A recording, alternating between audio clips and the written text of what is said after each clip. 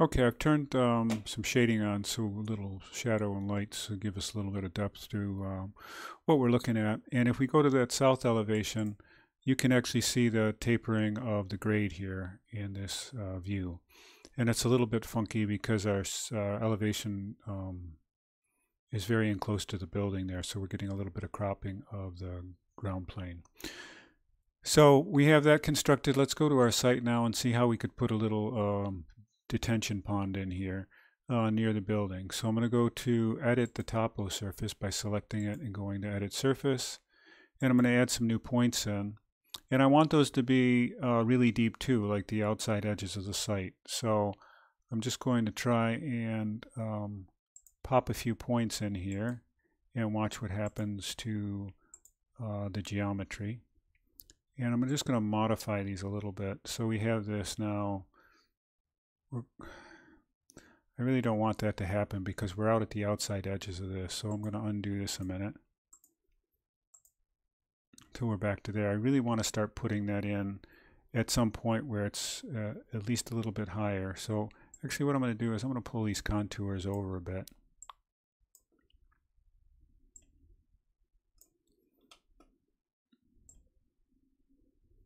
I want to put a little pond in right here.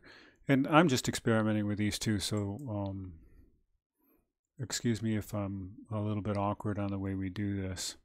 So um, now I've lost the, okay, so we have place point, and I'm going to place a point here at minus 6.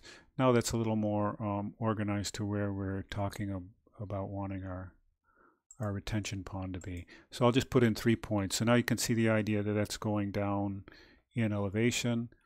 And I'll just put in a couple of more points to give it some shape. So I'm going to go to minus 5 and start changing. I don't want to do that, so I'm going to Apple Z this, or excuse me, Control Z this. A little giveaway that I'm a Mac user.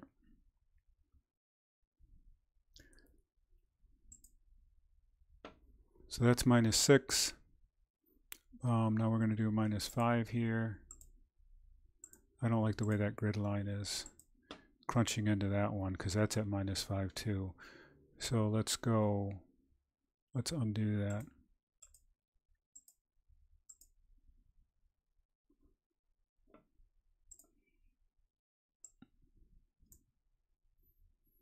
Let's put in a couple of more points along this one here. Let's do another, this is at minus 6, this is at minus 5. I'm going to add a point. Let's see if it'll allow me to add a minus 6 point in here. I'm just trying to try to get a little more shape out of it. There we go. And I'll go to the minus 5 point. I mean minus 4 is what I want. And I'll try to add a little point over here a little bit. That's minus 4. So let's see what happens when I pull on that a little bit. Okay, so now I'm starting to make a little bit of a, a pond-like shape. Okay, so this is um, this now doesn't have any water in it. So one of the techniques, as far as I've found, to be able to add water to the pond, and we could look at this in a 3D view. Maybe you could see a little bit about what's going on here. Um, a little bit difficult to see what's happening with the elevation. Why don't we go ahead and cut a section line through? So I'll go back to the site view, and I'll grab. Um, oh, that's funny. It won't let me draw draw a section line here. Maybe because we're still in the editing mode. Hold on a second.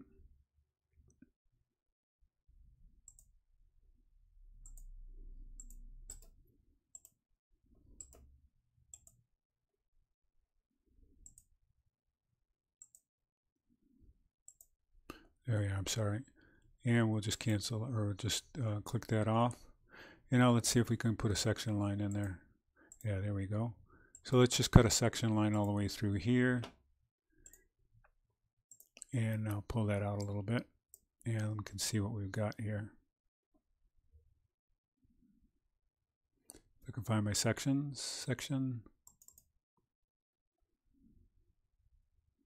Okay, so there's our small little lagoon area.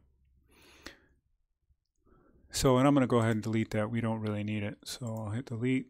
And what I do want to do though is I want to put in a some water. So I'm going to go ahead now and make a freeform component, which is just a flat surface, uh, an extruded shape. So I'm going to place a component, excuse me, I'm going to uh, model and place a component and we'll just use a generic generic model and it'll be an extrusion and we'll use the line tool and we'll chain it and I'm just going to walk around here and figure just a surface that stays outside of the this is not accurate because this will it doesn't need to be accurate because what we're going to do is um, go to our 3D view of this and we're going to now pull this down. I'm going to pull this down so it gets thicker and I'm going to pull the top down until it starts to just peak up a little bit sensitive there. Let's pull that down a little more.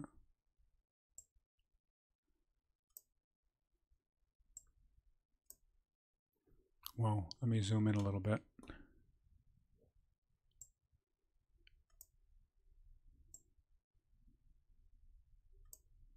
There we go. So now it's right at the level where it's clipping off at that elevation, which is what I wanted to do. If I was to uh, just undo that for a minute. If it's high, it's extruding up. You can see the edges of it. But if I bring it just right down to the perfect, it's just going to go to the level or the contours of the water itself. And we can, of course, uh, give this a color. So we can go ahead and then um, um, still edit this um, extrusion. So if I click into it, I'll get a chance to give it a material. And we're looking for a material, um, we'll do it simple for now, so we'll just make it a water. So I'm going to make a new material, we'll just call it water. Rename this. And this could have a texture and be relatively sophisticated, but for, for now all we're going to do is just pick a bluish color for water, maybe a, a bluish green.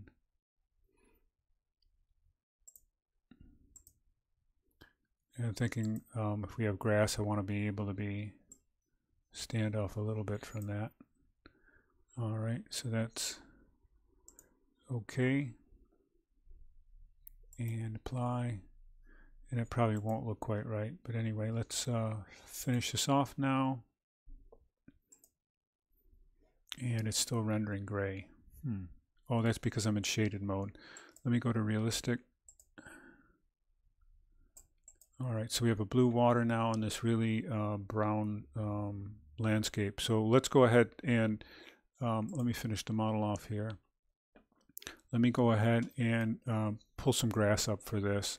The other thing I want to do right now is get rid of these things in the model. So let me hide all the levels.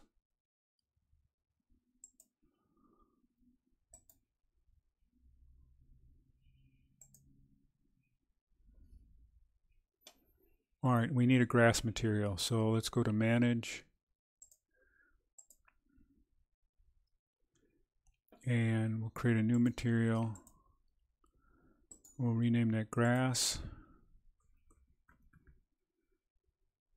And we'll, I don't think we have any grass, so let's look for some.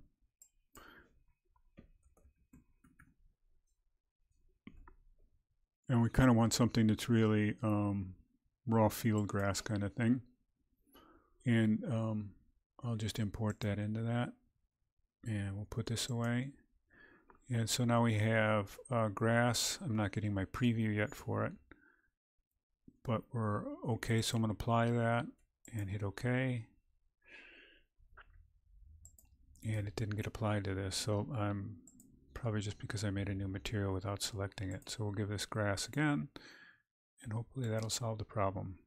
So there we have um, some kind of hideous looking grass, but it's grass um, nonetheless to start with. So we can make these um, topographical lines disappear and we'll be able to do that um, soon um, just by going back to our massing and site. I'll do it, I'll toggle it. If we just do turn the contour lines off and hit apply, now we have no contours in the surface. And it's really difficult to read at this point because we have um, nothing else on the site. It's really difficult to read the change in terrain. But that'll become much more readable as we go ahead. So I'm going to turn the contour lines back on again. We'll leave them that way for a little bit. And when we pick this up, we'll look at putting our parking lot and our entry in for the building.